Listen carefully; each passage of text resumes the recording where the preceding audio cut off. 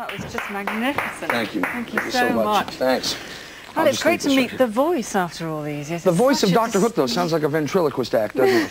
sounds like a whole other thing. Well, the thing is, you've been divorced from Dr. Hook for a long time now. 85 was the farewell tour, you That's know, and I amazing. got to tell you the truth, for a while, I almost resented the fact that I couldn't quite break away from it. Yeah. But now it's starting to dawn on me that we did something that was strong enough that it's, you know, it's hard to break away from it. So I, have, I should be, I should be somewhat flattered. Yeah. It's do a little ever, Do you ever still though. play the old songs? Or? Oh yeah, there's there's some of the old songs in the set, Yeah. but I really like doing the, the new things because I don't want people to think I died 10 years ago, you know. So I don't want to come back as a nostalgia act and do the Dennis Locorriere Please Remember Me tour. Yes. So you know it's nice, and I also feel like if I just play the old songs, that in some way I'm telling the audience that life isn't any good now. You know what I mean? That we all always have to hark back to the past, but Yeah. life is great now because here we are. know? But you know, a lot of people on a pragmatic level would say, well, you know, you'll have made a few dollars out of those. I mean, those songs, they're still being played all the That's time on true. the radio. No, they you're are right. classics.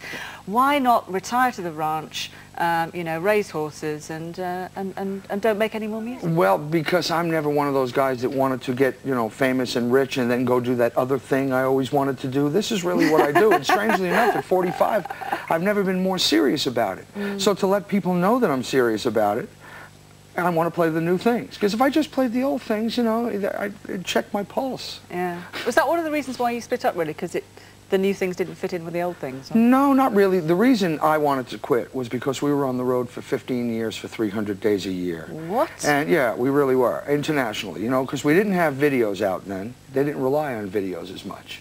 So if someone wanted to see you in Australia or wherever, you packed and you, you went there.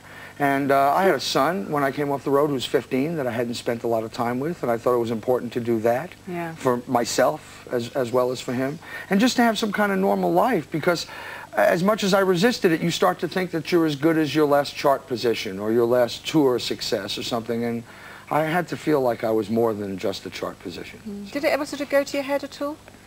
Did you ever become a little Uh, bit egotistical or anything? No, no, I don't think so. Not any more egotistical than I began. no, I mean, we have to have a huge ego to do this, to stand out on a stage. But my ego doesn't lie in walking in a room and dropping off my fur coat and having someone pick it up. My ego, you know, I use it so I do a good job. And then I like, would like also, strangely enough, if I'm talented, I'd like to walk away and I'd like somebody to say, and he wasn't a bad guy either. I mean, that's, that's where my ego is. But you have to have one or you wouldn't walk out there. Because you've actually written quite a lot of stuff for other people, haven't you? I'm starting to. I'm mm. starting to. I, I've written, you know, when I was with Dr. Hook again, I was on the road so much that I didn't, I didn't write. And by the time I came home, there was always a box of songs for us by well-known oh, songwriters. Oh, really? Oh, because once you start having hits, Yeah. everybody wants in. So I'd come home and I'd look through the box. But then I realized I wasn't really expressing myself that much. So Yeah, and so you, I mean, and the voice is another thing because you always sort of think, oh, blimey, you know, perhaps your voice starts to go at a certain age, but obviously it's it still. hasn't. It's gotten, No? it's gotten a little better. I quit smoking, you know, 10, 15 years ago, and uh, well, actually longer than that, almost 20 years ago. But it says it, they tell you it takes forever once you quit smoking. I was going to say it sound because it sounds like one of those voices that has had a few cigarettes and a few whiskeys. No, but- that's what everybody always calls it a whiskey voice. I don't even drink. It's just ravaged.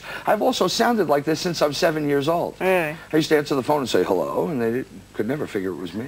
Anyway, you're on tour at the moment, Yes. aren't you? So we can see you in London could- yeah, Mean? Fiddler tonight. Brilliant. And Telford tomorrow night, and then next week we had to Glasgow. We'll see you up there, Scotland, and uh, Glenrothes and New Brighton, all over the place. Well, it's been delightful hearing the voice again. Thank you Thanks. Thanks for letting me back in the UK, by the way. Where are you? Right there? Because I feel like I have a history here, so thanks for letting me back in. Anyway, stay with us. It's Glad Rags and Glamour after the break.